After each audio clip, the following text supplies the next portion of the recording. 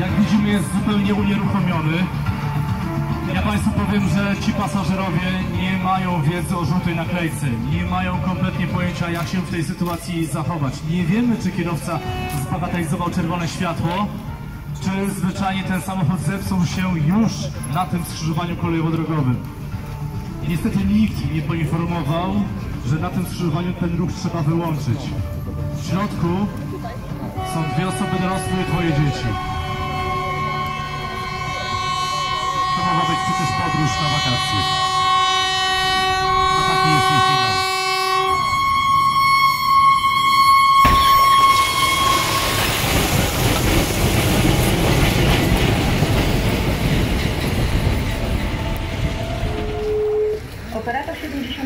Mogę pomóc? E, Proszę Pani, na przejeździe kolejowo-drogowym przed chwilą był wypadek.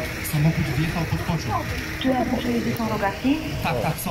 Czy może Pan do nich podejść? Dokładnie do ich napędów, tych skrzynek, do których są przykręcone rogatki. Dobrze, podchodzę, ale po co? Na obudowie napędu od strony toru znajduje się żółta naklejka. Na naklejce znajduje się dziewięciocyfrowy numer tego przejazdu kolejowo-drogowego. Proszę mi go podać, dzięki niemu dokładnie Pana zlokalizuje. Dobrze, już podchodzę i podaję numer. E, 018 011 250. Dziękuję. Czy jest Pan w Warszawie na ulicy Golędzinowskiej? Tak, tak, właśnie tutaj.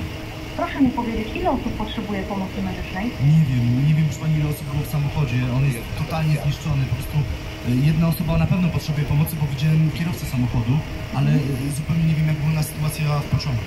Dla Pana bezpieczeństwa proszę nie podchodzić do pojazdów. Ten samochód to osobowy czy ciężarowy? To jest osobówka. Widzi Pan może wycieki z samochodu lub tym albo płomienie? Wie Pani, co, co, coś tam wycieka, coś, coś się sączy, czuć też zapach paliwa, ale na razie się nic nie pali. Już to sobie zapisuję. E, Czy tworzy się korek? Nie, nie, nie.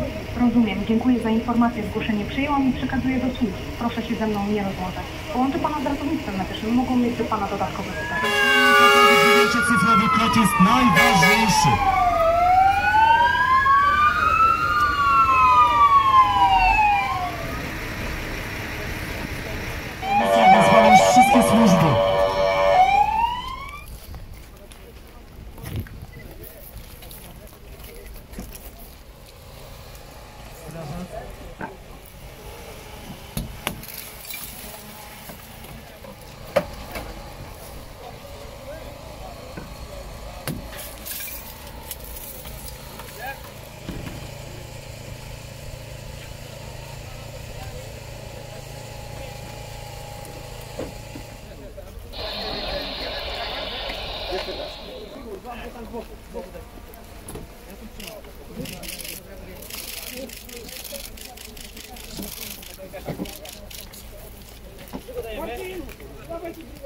Drugie na tej strony. Zapinamy. Właśnie. Jarek, chodź.